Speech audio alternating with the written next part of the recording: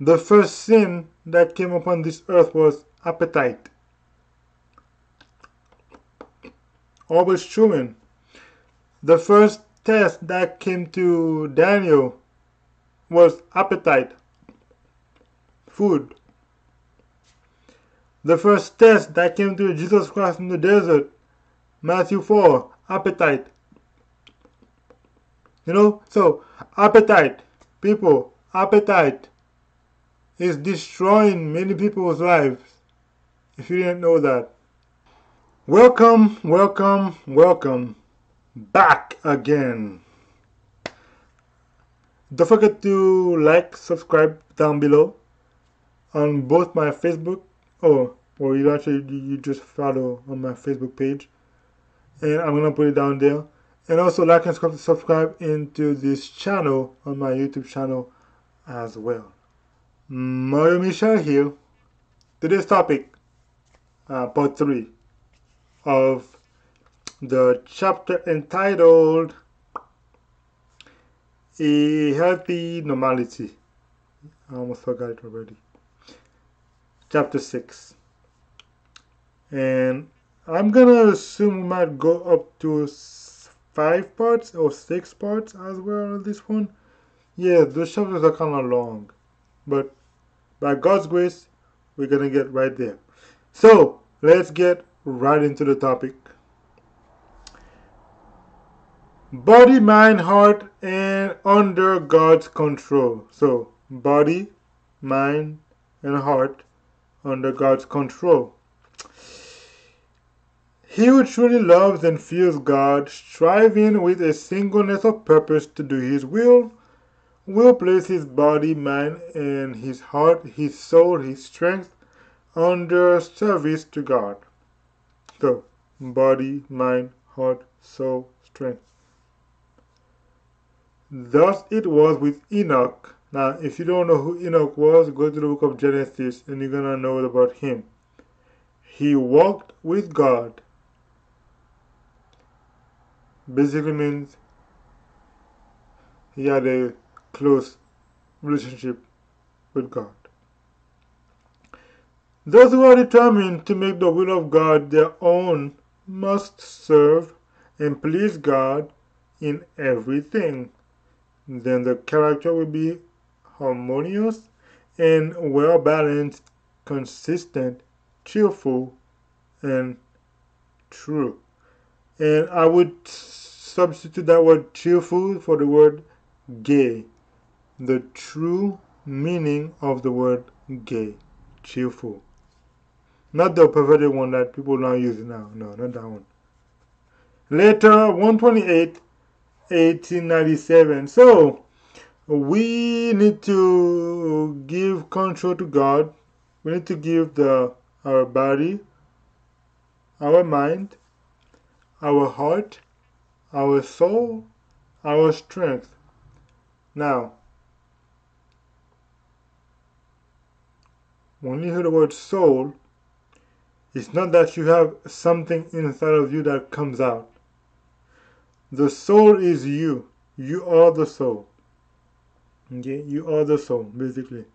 The soul is body plus spirit. You are the soul. So, don't think that you have something coming out like in those satanic movies. No, no. You are the soul. Ezekiel chapter 18 tells you that already. And the book of Genesis chapter 1 also tells you that. Verse 26 to verse 30. So, you are the soul. Just don't forget that part. Let's keep on going. Faculties of mind that to rule the body. I'm gonna try to make it go down. Oh, that's too fast. Let's do this. True education includes the whole being. It teaches the right use of oneself. It, enables us to make the best use of brain, bone, and muscle of body, mind, and heart the faculties of the mind as the higher power has the as the higher powers are to rule the kingdom of the body the natural appetites and passions are to be brought under the control of the conscience a conscience and the spiritual affections so hold on, hold on. Christ stands at the head of humanity, and it is his purpose to lead us in his service into high and holy paths of purity. By the wondrous working of his grace, we are to be made complete in him. Ministry of Healing, page 398 and page 399. Yes! So, um, appetite. People that have a hard time to not be chewing on food. The first sin that came upon this earth was appetite. Always chewing. The first test that came to Daniel was appetite. Food. The first test that came to Jesus Christ in the desert, Matthew 4, appetite. You know, so appetite, people, appetite is destroying many people's lives. If you didn't know that.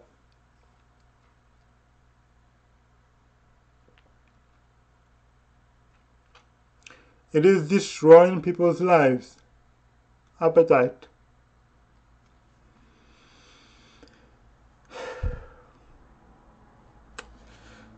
So, we need to take that and bring it down on the conscience. Don't let your appetite rule you, but let your mind rule. But not everyone likes that idea because they like to have everything that they want. So, but let's keep going. Well developed minds and broad characters. God's workmen must labor to be many-sided men, that is, to have a breadth of character, not to be one-idea men, stereotyped in one manner of working, getting into a groove, and unable to see and sense that their words and their advocacy of truth must vary with the class of people they are among and the circumstances that they have to meet. That was a long sentence. All should be constantly seeking for well-developed minds and to overcome ill-balanced characters. This must be your constant study. If you make a useful, successful laborer. This must be your constant study if you make a useful, successful laborer. Letter 12, 1887. You know what that means? Okay, let's move on. Commonplace trivial matters, matters dwarfed, dwarfed the mind.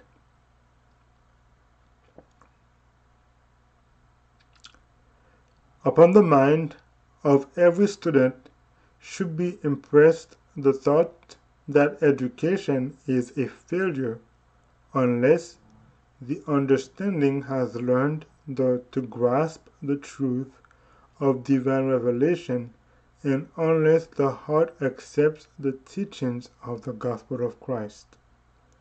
The student who, in the place of the broad principles of the Word of God, will accept common ideas and will allow the time and attention to be absorbed in commonplace, trivial matters, will find his mind becoming dwarfed and enfeebled he has lost the power of growth. The mind must be trained to comprehend the important truth that concern eternal life. Review and Herald, November 11, 1909. And this is what I don't like about schools nowadays.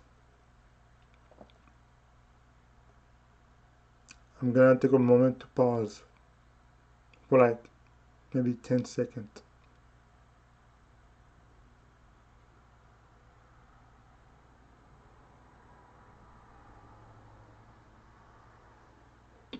Okay. What I don't like about schools nowadays is they don't want anyone to be talking about Bible. That's fair. Okay. Fine. But they are pushing their theology of evolution.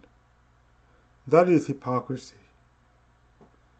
So you are trying to teach young people to believe in a religion as evolution, but you don't want them to have the chance to either to also learn about the Bible. That's hypocrisy.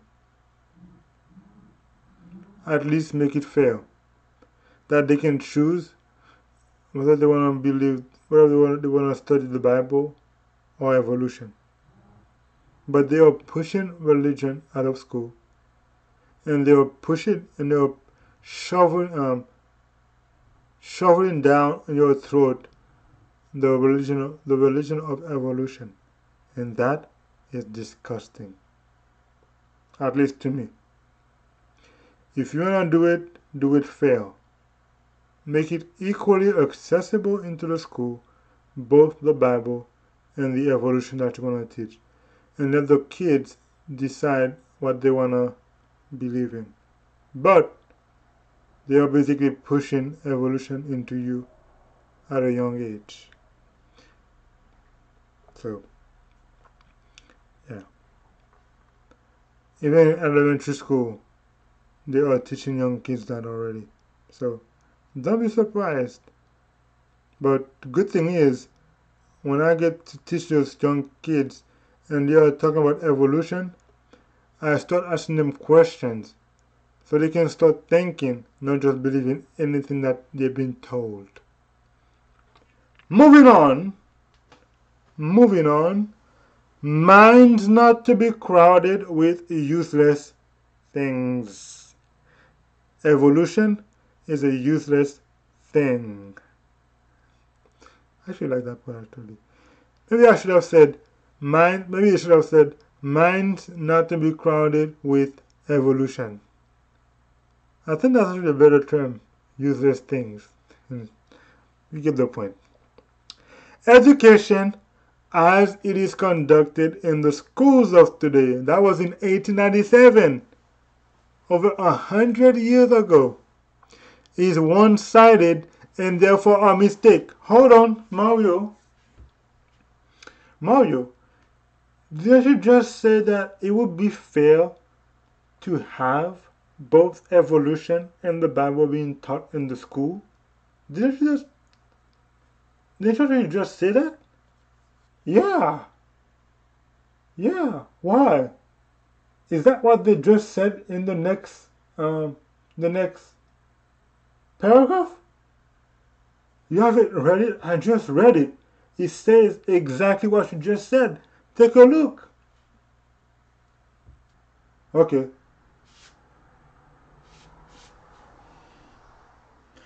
Education as it is conducted in the schools of today, 1897, is one-sided and therefore a mistake.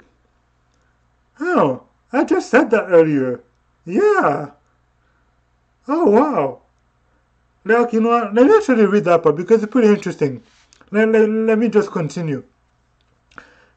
As the purpose of the Son of God, oh, my bad. As the purchase of the Son of God, we are his property, and everyone should have an education in the school of Christ. Wise teachers should be chosen for our schools but that's not the case anymore. Teachers have to deal with human minds and they are responsible to God to impress upon those minds the necessity of knowing Christ as a personal Savior. But this is not what's being taught in schools anymore, from elementary in the cradle. But no one can truly educate God's purchased possessions unless he himself has learned in the school of Christ how to teach.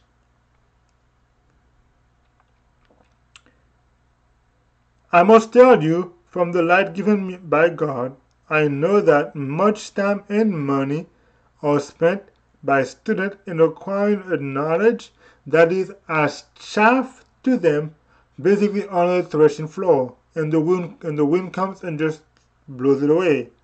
For it does not enable them to help their fellow men to form characters that will fit them to unite with saints and angels in the higher school. In the place of crowding youthful minds with the mass of things that are distasteful and that is that in many cases will never be of any use to them, like evolution, a practical education should be given. Time and money are spent in gaining useless knowledge. The mind should be carefully and wisely taught to dwell upon Bible truth. The main object of education should be to gain a knowledge of how we can glorify God, whose we are by creation and by redemption. The result of education should be to enable us to understand the voice of God. Let's keep on reading. Like the branches of the true vine, the Word of God represents unity in diversity. Not uniformity. No. Not unity in uniformity. It's unity in diversity. Not uniformity like the Pope is asking right now to do. Let's all lay aside our doctrines and let's come together. Yeah, that's very deceptive to me. Like what Satan would actually say. You have to catch on those things too sometimes. Okay. There is in, in there is in it a perfect, superhuman, mysterious unity. It contains divine wisdom, and that is the foundation of all true education. But this book, oh, this book I think I just said that earlier, right? That they are trying to push out the Bible out of the school. Has been treated indifferently. And I have a story for you after I'm done with this one because we're gonna be we're gonna finish after with this paragraph. Now, as never before, we need to understand the true science of education. If we fail to understand this, we shall never have a place in the kingdom of God. This is life eternal, that they might know thee, the only true God, and Jesus Christ, whom thou hast sent. John 17, verse, verse 3. If this is the price of heaven, shall not our education be conducted on these lines? The Christian Educator, August 1st, 1897. Okay, let's see. I was taking a physics class, and the professor is bright. I mean, I have to give credit. He's really smart. But you know, when you are a Christian, a Bible believing Christian, and you don't just accept any trash from people, I'm that kind of person. He's teaching the class perfectly and it's going smoothly until he said, but you know, when the Big Bang happened and and this and this and this, and I was like, hold on, is this not a science class? Why is he preaching now to me? Did you get the point? So I raised my hand and I said, question for you, sir. When did the Big Bang happen? Because I never heard of such a thing as Big Bang happening and that caused the universe to create like that. When did it happen? Well, of course he couldn't answer that question because he doesn't know the answer for it. Because there is no Big Bang anyways. Unless you believe that you were a chimpanzee. I mean, I, mean, I guess you were because I was not. I was made a human being. Unless you believe that you were a chimpanzee and then for some reason you started to evolve, but then for some reason the other the other chimpanzee are not evolving anymore. Yeah. Oh, we had a long argument in the classroom. In the classroom, I was like, I am not. I, I told him, this is science, but now you're bringing religion. But did I actually say that? I forgot if I actually said that. But I knew that this was no longer science, this was religion. Because it's a belief, it's not proven. That's why they call it the Big Bang Theory. Not Big Bang Theorem or Big Bang Axiom or Big Bang Proof. It's theory. So to all of you out there that still believe in this nonsense, I'm gonna call it nonsense, useless thing called evolution, please, you can believe that. But don't try to push it on people. What you should do is give people those two things, the Bible and evolution, and let them choose for themselves. You can see that God never forces people to believe in himself, but Satan does force people to believe in him. Because if Satan comes truly as who he is, no one will sign up with him. Actually, no, I'm lying. Some actually really do sign up with Satan, but the majority would not. And that's why he comes in disguise. And evolution is a perfect disguise that Satan uses to attract people to himself. And funny thing is, there is no atheist out there, okay? People are, in, are uh, agnostic. There is no athe atheist because you can't say God is anything because you don't know for sure. So yeah, that's just nonsense as well. Anyways, guys, this was Mario Michel again. Don't forget to like, subscribe down below on both my Facebook, oh, or you actually you just follow on my Facebook page, and I'm gonna put it down there. And also like and subscribe into this channel on my YouTube channel as well. Alright, so, but yeah, I will see you guys again. I will see you guys again. I hope to see you guys again actually. But if I don't see you guys again, I hope to see you guys when Jesus Christ comes the second time, of course, in heaven. Until then, bye for now. Mario out.